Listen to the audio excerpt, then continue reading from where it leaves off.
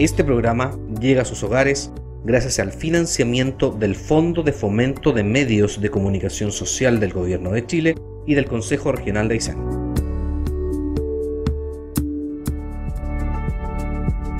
Bienvenidos a una nueva cápsula informativa de Derechos del Consumidor.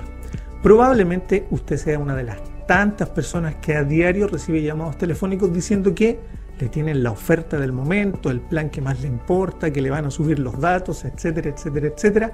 Y como miles de personas, respondemos que no nos interesa, pero 10 minutos después el teléfono vuelve a sonar y nos vuelven a hacer la misma oferta, ¿o no? Estamos para conversar un poquito más de este tema junto a Damaris Raipillán, abogada experta en derechos del consumidor. Bienvenida, Damari. Y lo primero es entender cómo obtienen nuestros datos y por qué nos llaman. Buenas tardes, muchas gracias por la invitación. En cuanto a tu pregunta, primero es necesario aclarar que somos nosotros mismos los que entregamos voluntariamente nuestros datos. Cuando nos llaman de un call center, cuando contratamos un servicio, etc. Pero además hay que recordar que hoy en día los datos son un nuevo tipo de acción en el mercado lo que lleva obviamente a que las empresas también lucren con eso y que finalmente entre estas se venda la información de sus propios clientes. Entonces, finalmente, nosotros estamos siendo poco responsables con nuestros datos.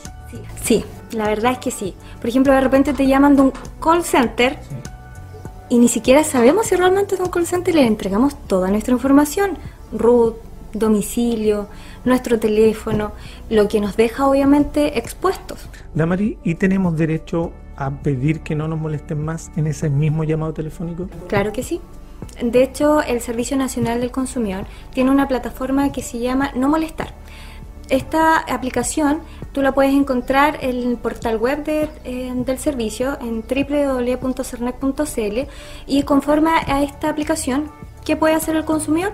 Solicitar que se suspendan estos envíos de parte del proveedor de comunicaciones promocionales o publicitarias, que es publicidad no deseada y que en definitiva te eliminen de estos envíos masivos de mensajes. Todo esto porque el artículo 28b de la ley 19.496 así lo establece. Así que es un derecho del consumidor. También entra en esta lógica de la entrega de información un poco indiscriminada lo que sucede en farmacias, supermercados y en el propio retail, donde cada vez que hacemos una transacción nos piden nuestro root.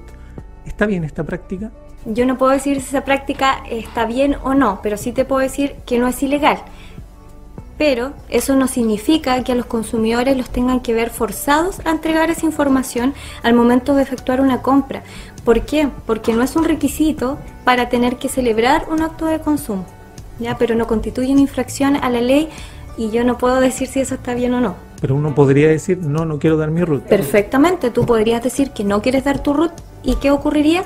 Que el proveedor no podría negar que tú compres el bien o que contrates un servicio.